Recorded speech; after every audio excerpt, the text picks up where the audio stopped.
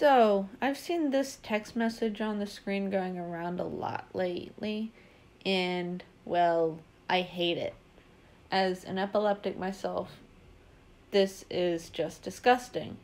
Because before I started the Atkins diet to control my seizures, I had to do meds, I had to do EEGs, I had to go through sleep deprivation. I still have to avoid strobe lights and disco balls and stuff. Epilepsy isn't just a sickness, it's a disability and a disorder that messes with our bodies as much as it does with our minds. Some of uh, um some of us aren't as fortunate as I am where they get to control it through diet over medication.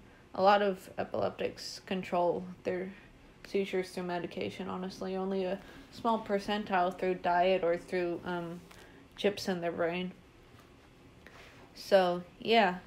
This mom is a freaking idiot and doesn't have respect for someone who little know could be on the floor next minute if they didn't take their medication.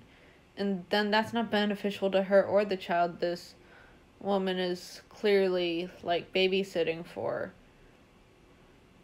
So, yeah, just let let the poor thing take her meds. Seizures aren't fun. We don't enjoy them. It's not mind over matter.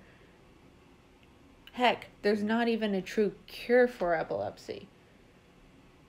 You're just an ignorant mom and you need to stop because you don't know what you're going on about.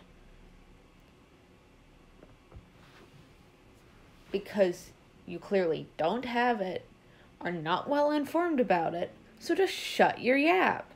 Until the next one. Bye.